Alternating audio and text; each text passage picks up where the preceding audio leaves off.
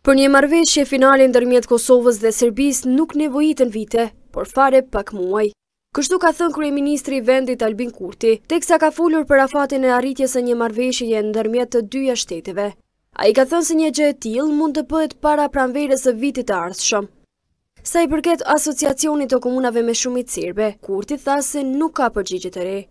Të drejtat e pakicave ne duam dhe duhet t'i respektojmë, por po e ritheksoj ata të cilët duan diçka ndryshe prej asaj që ka paraparë Kushtetuta e Kosovës, do të duhej të tregojnë se si na qenka gabim Kushtetuta e Kosovës. Kreu i ekzekutivit kosovar u është përgjigjur edhe fyerjeve të presidentit serb Aleksandar Vuçiç, i cili Kurtin e ka quajtur llum terrorist, pas emërimit të kryetarit të Partisë Demokratike Progresive, Nenad Rashiq, në postin e ministrit për Kthim dhe Komunitete në Qeverinë e Kosovës.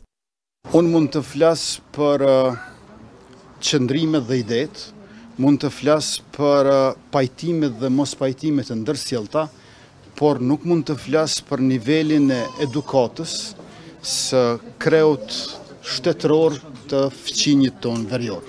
Për gjuhën e përdorur të Vuçiqit kanë reaguar edhe nga Bashkimi Evropian, duke bërë që të ketë përmbajtje nga retorika nxitëse. Por zëdhënësi i BE-së Peter Stano, duke iu referuar emërimit të Rashiqit, ka thënë se sipas vlerësimeve preliminare, emërimi i tij nuk ka qenë në përputhje me Kushtetutën. Ne si komunitet i njëzet e shtatë vendeve presim nga të gjithë partnerët që të sillen në mënyrë evropiane e kjo përfshin edhe Serbinë edhe Kosovën. Kjo nënkupton përmbajtjen nga deklaratat nxitëse. Është shumë e rëndësishme që të gjitha emërimet e ministrave të jenë në përputhje me Kushtetutën e Kosovës. U bëjmë thirrje autoriteteve në Kosovë që të sigurojnë respektimin e Kushtetutës. Sipas leximit tonë preliminar, ky emërim nuk është në përputhje me Kushtetutën e Kosovës. Serbia e ka konsideruar shkelje vendimin e Kurtit duke thënë se Rashiqi nuk përfaqëson serbët e Kosovës. Të enjten, Rashiq është emëruar ministër në vend të Goran Rakiq, i cili ka dhënë dorëheqje për shkak të vendimit të Qeverisë së Kosovës për të riregjistruar targat ilegale serbe në veri të vendit.